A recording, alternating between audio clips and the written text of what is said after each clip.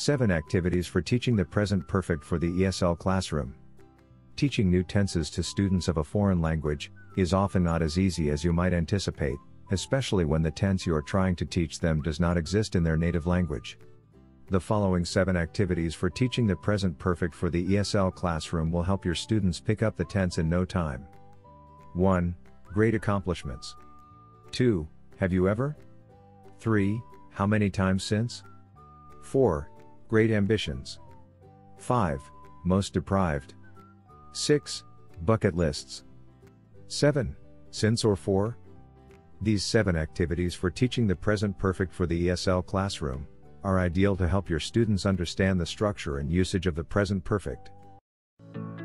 Thanks so much for watching. We are ITTT, the leading provider for TEFL and TESOL training courses. If you like this video, please subscribe by clicking the button down here click on any of the videos here on the left for more interesting teaching tips for getting certified to teach English abroad and online.